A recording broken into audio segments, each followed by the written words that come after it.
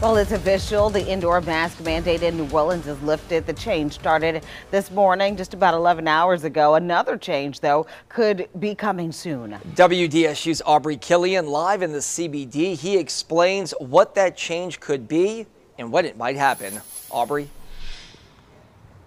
Hey, Travers. So, city leaders say by March 21st, if COVID cases stay down, you won't have to show your vaccine information at certain businesses. I spoke with several businesses today who support the changes. Honestly, I think it's a great thing for us. That's how many businesses in New Orleans feel after the indoor mask mandate was lifted at 6 a.m. Thursday. Taking the masks off allows us to be more of who we are and not hidden behind this veil.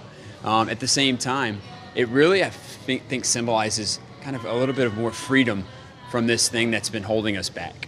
New Orleans city leaders initially put the mask mandate in place as a precaution ahead of Mardi Gras, knowing that carnival season would bring an influx of people to the area. Now, many are hopeful that additional restrictions could loosen up later this month.